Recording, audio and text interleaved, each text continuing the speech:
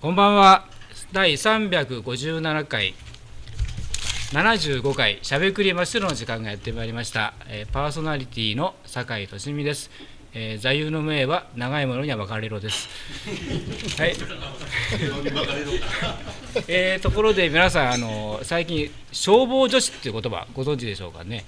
今あの若い女の子たちの間で消防士の皆さんが人気があるそうでして、えー各大会がありますと追っかけが随分あるそうです、えーそんな、えー人気のある消防士さんたちを束ねていらっしゃる方が今日のゲストです、えーこの4月に新しく、まえー真っ白消防署長として赴任されました内山仁さんです。こんばんは。よろしくお願いします。えー内山さん消防女子はご存知でしたか？え言葉だけは言葉だけは、い知ってます。結構真っ白消防署にもそう追っかけられる方がいらっしゃるんじゃないですか。いや残念ながらいないんですけれども、まああのですね毎日昼間若い隊員がですね、はい。訓練やってますんで、ぜひとも見に来ていただきたいですね。えーそういった方がリクルートでね来ていただくとい。いいですね。えーっとまずですね、えー真っ白消防署どこにあるか。ね皆さんご存知だと思うんですけれどもちょっと場所をですね確認したいと思います。えーっとここが、えーまあいる街歩きセンターですね。ここからずっと長野インターに向かいます。交差点をこちらに、え右に曲がりますと大きなホテルがございます。大きなホテルがございますね。その隣に、えー消防署がございます。こちらですね。えー消防車が何台か、えー駐車しておりますね。はい。えー、とさて、えー、内山さん、真っ白消防署にいらっしゃる前は、どちらの署にいらっしゃったんですか？中央消防署の方に。中央消防署ですかはいいましたはい。で新しく所長としてこちらへ昇進されて、はい。おめでとうございます。えー、と現在、真っ白消防署は何人くらいの署員の方がいらっしゃるんですか？27名で、はい、やっております。女性の職員の方もいらっしゃるんですか？ま、松署はいません。あですか。じゃあその方たちが、えー消火救急救助と分かれてあのやってますそうですね、一応あの、担当的に分かれてるんですけど、今は、まあ、あの全種目うできるようにっていうようなあ体制になってまして、はい、誰でもが全てできると。そうですね、そういうような体制ですあね。はい、はい分かりました。えー昨今消防車救急車の回数っていうのは出動回数っていうのは多いと思うんですけれども真っ白の場合はどうでしょうかね。はい、あの今年の1月1日から、まあ昨日までですが、あー火災出動がですね27件、えーそれ救助出動件数が21件、救急出動が691件、それその他災害で59件の出動となってますね。はい救急車の回数が多いってことはやはりこう天候例えば熱中症とかそういったことが関係してますかね？まあ、今の時期はそれもありますけれども、やはり一番あの高齢化っていう部分で、やっぱりあの患者さんの多くがほとんどあの高齢者ですからね、はいはいはいそこですね。あそうですか。えーっとですか？例えばこう救火事があった場合ですね所長さんはどういう立場でいらっしゃるんですか？現場へ行って指揮をなさるんですか？いや、もうあの一切現場の方はまあ行きません、まあ、よっぽどのことがない限りは、はい。あの普段はやはりあの署員のお管理、監督っていうようなあものが一番の、はい、役割ですね。はい。そうですか。ずっと現場に携わっていらっしゃるとなんかこう血が騒ぐと言いますか、はい。そういったことございますか、あ、あの年がいにもなくですね、やはりずっとあの現場やってたもんですから、はい。えーやっぱり幸せがいますね。あはい。主にどういった現場が多かったんですかね？消火救急救助とありますけど。あ私はあの消防と救助ですね。あはい。そうですか、えー救助と言いますと災害とか事故とかそういう方面で活動されたと思うんですけれども、えこ何かこう大きな災害というものに行かれたこともございますか？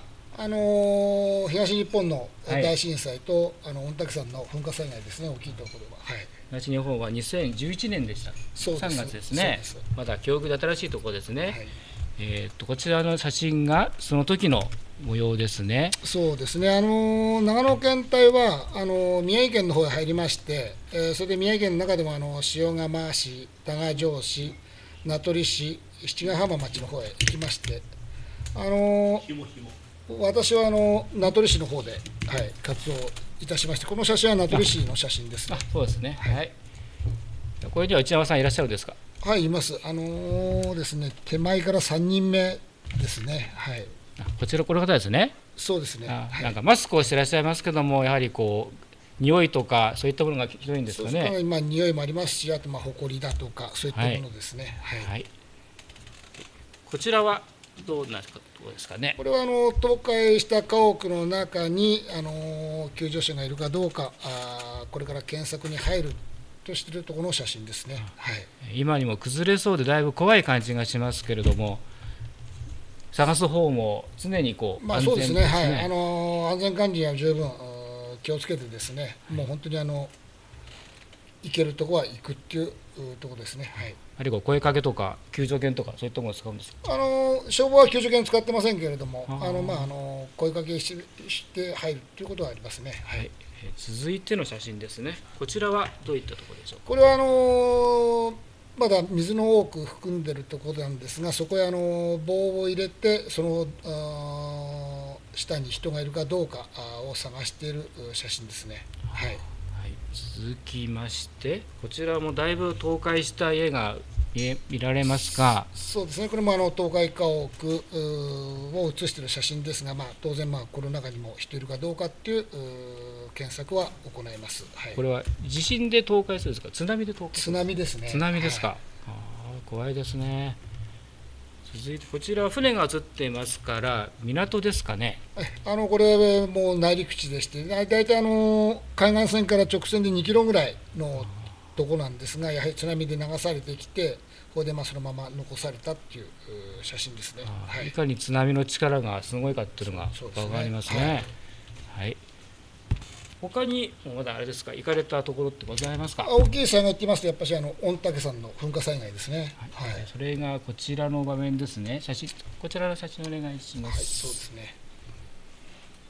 これは今から3年そうですね。ですねはい、26年ですね。ね、はいこの時はどういった立場で行かれたんですか？その時はあの長野県の副隊長という立場で、はい、行きましたから、あの私、式の方式場の方にいまして、はいですから現場の方へは上がってません。はいはいこ最初の写真これはどこでしょこれはあの上の剣ヶ峰山荘っていう山荘がありまして、はいえーその中へ、えーき要救助者を探しに行くっていったあ写真ですね。う。はいこれ大きな穴が開いてるところがあるのはみんな噴火による遺跡。そう噴石が折って穴が開いたとこ、それで植えてあと火山灰ですね、灰がまあ降りようと。はいこの中にも人はいたですか？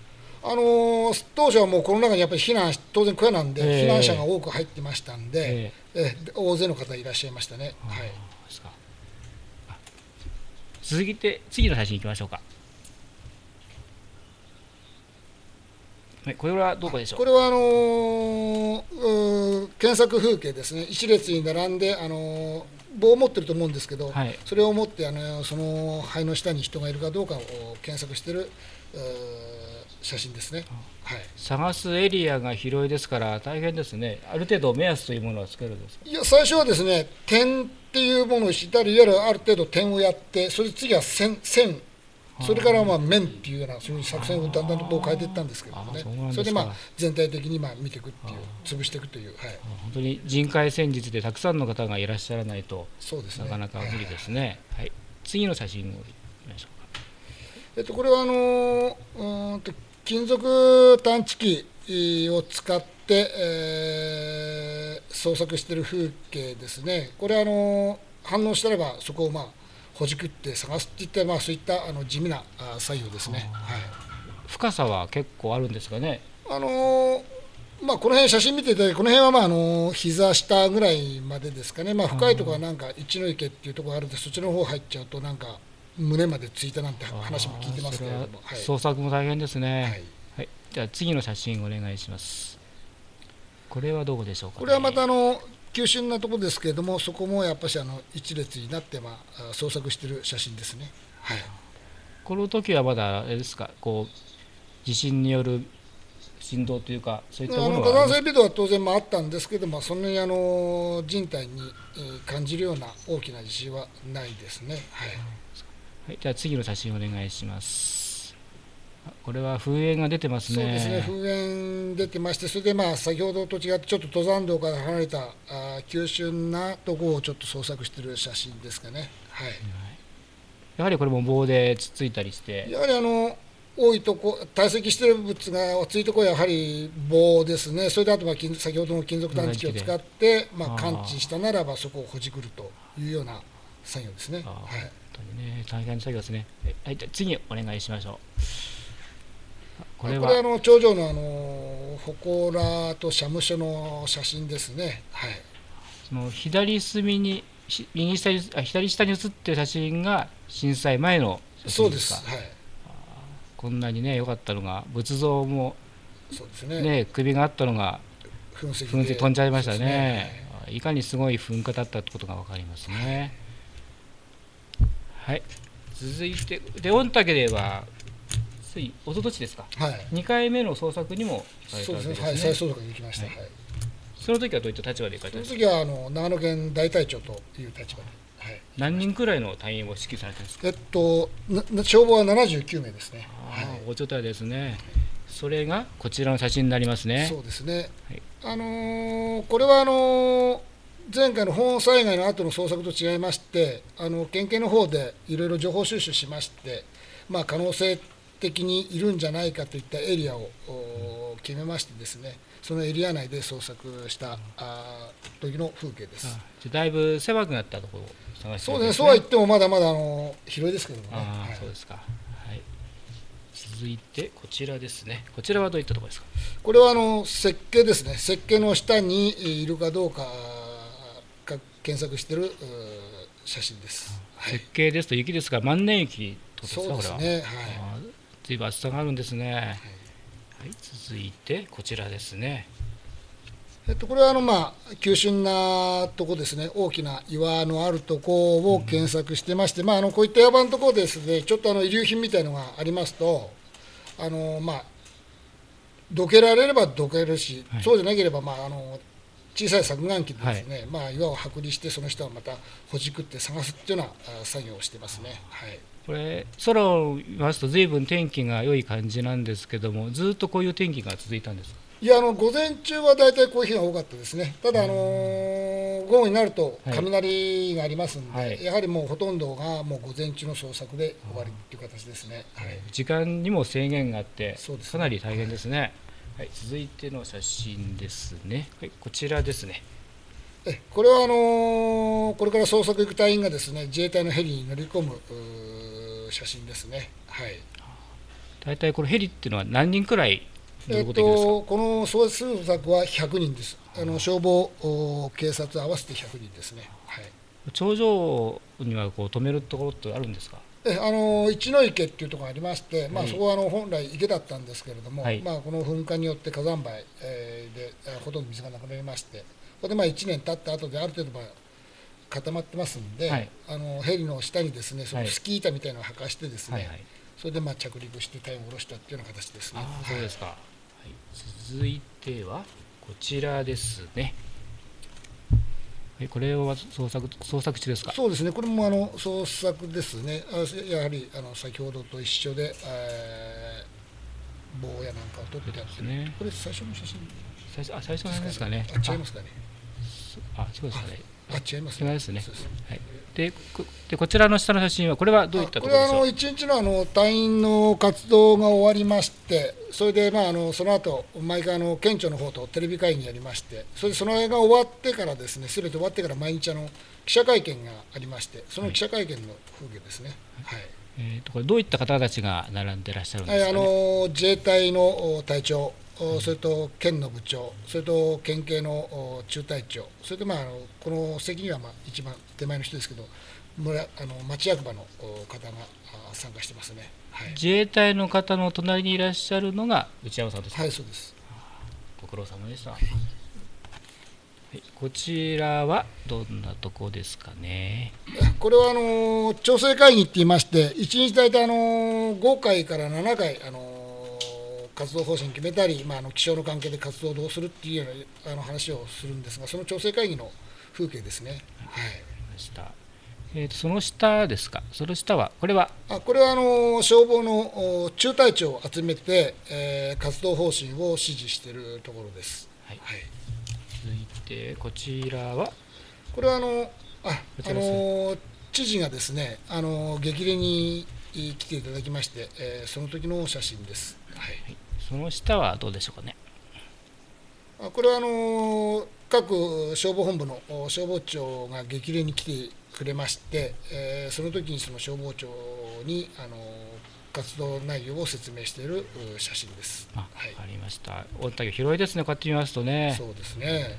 かなり捜索も大変だったと思います。はい、で2回目の捜索では行方不明の方は分かったですか？1名だけ、えー、発見してましたが、まあ、5名の方はまだ残ってるんですね。ということですね。はいえー、大きな災害で,、ね、であの活動されたわけですけども、えー、もう時間もちょっと押してきちゃったんですけども、えーと、皆さんにこう何か、えー、消防庁長担当してですね、はい、こうこういうことを気をつけてもらいたいっていうことがございましたら、お聞きしたいんですけども。あのこちらの出していただくこの版に、はい、えー、書いてあるんですが、えー、っと今今まであの防災、防災ということをあのうんと言われてたんですけれども、まあ、当然のことなら防災もこれ大切なんですけど、はい、それよりも、まあ、あの減災ですね、いわゆる防災っていうのは災害が発生しないようにする対策であって、はい。はい、まあ、被害を出さないようにするのがまあ目的、だけどあの減災っていうのは、あの被害は起こる前提での対策なんですね。いわゆるあの災害の発生原因の3分の2っていうのはですね、はい、もう防げないって言われてます、ですからまあ災害はもう起こるっていうものを前提にしていただいて、じゃあ起こったならば、はい、被害を最小限にするっていう、それが減災ですね。はい。えーと、我々普通の市民がこう減災に気をつけること、あるいはしてしなくてはいけないことってございますかね？やはりあの基本、一番の基本はもう自助、共助という部分、はい、ですからまあ近隣の,、ね、あの関係っていうのはやっぱりえ良好でなければそれ共助というのはなかなか難しいですけれども、まあ、いやとにかくあの良好な関係っていうのを築いていただきたい。これでまたあの地震に限って言えばですね、あの家具の固定ですとか、はい。はい、あるいはあの防災グッズを用意しておくとか、はい、っていうようなこと、それでまああの家族でですね、いわゆる安否確認っていうの方法をですね、話し合っていただく。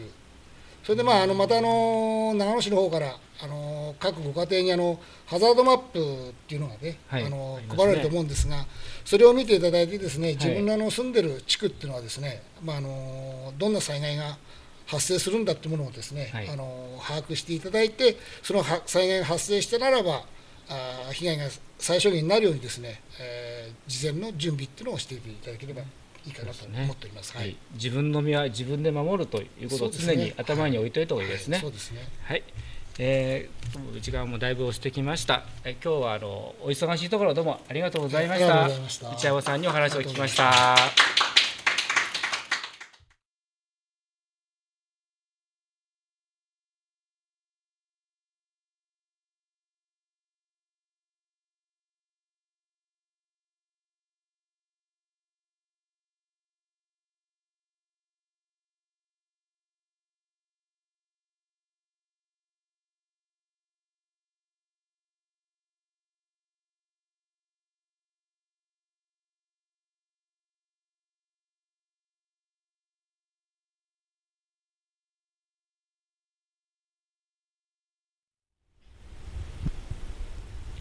いや素晴らしい、はい、いやあのね私もね昔ねあのー、新潟地震の救助それからあのー、伊豆で。いや私は行かない。あの消防の方がねいた、お話聞いたんですよ、うん、あの伊豆のあの土砂崩れかな、うんうん、あの時にもねあの救助の方ってね本当に二次災害というかね自分がほら、えー、自分も巻き込まれる、可能性もあるじゃないですか、そんな中でもね、本当に命命がけの仕事、いや本当に頭が下がりますね、大変な、えー、お仕事だと思います。はい24時間。そうですね、ねやらなきゃいけないからね、はい、はい、えー、っとですね、読んでますね。